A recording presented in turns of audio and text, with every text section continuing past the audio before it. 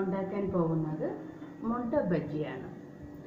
ബജ്ജിക്ക് ആവശ്യമായ ഇൻഗ്രീഡിയൻസ് എന്ന് പറഞ്ഞാൽ കടലമാവ് മുളക് പൊടി മഞ്ഞൾപ്പൊടി ഉപ്പ് കായപ്പൊടി പിന്നെ ചിക്കൻ മസാല നമ്മൾ പാക്കറ്റിൽ മേടിക്കുന്ന ചിക്കൻ മസാല അതാണ് ഉപയോഗിക്കുന്നത്. മുട്ട പിന്നെ പുഴുങ്ങിയതാണ്. പുഴുങ്ങിയ മുട്ട രണ്ടായിട്ട് കീറി വയ്ക്കണം എന്നിട്ട് നമ്മുടെ മസാല ഇതെല്ലാം കൂടെ ഇനി നമ്മളിത് തയ്യാറാക്കുന്ന വിധം. ആദ്യമായി കുറച്ച് ഉപ്പ് ചേർക്കുക. ഉപ്പ് ചേർത്തതിന് ശേഷം മുളക് പൊടി ഒരു സ്പൂൺ ചേർക്കുക. അതിനുശേഷം മഞ്ഞൾപ്പൊടി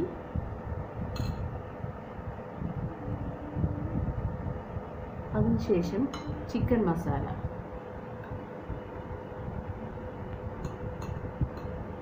അതിനുശേഷം കായപ്പൊടി ചേർക്കുക.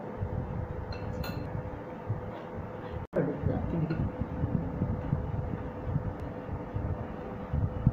ആവശ്യത്തിനുള്ള വെള്ളം എടുത്ത് ഇത് മിക്സ് ചെയ്യുക.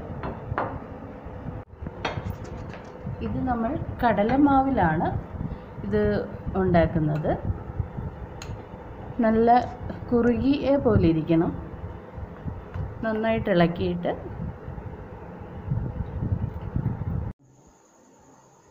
നമ്മളിത് മിക്സ് ചെയ്ത് വെച്ചിരിക്കുന്ന മാവ് അതിലേക്ക് മുട്ട മുക്കി നമ്മൾ തിളച്ച എണ്ണയിലേക്ക് ഇടണം.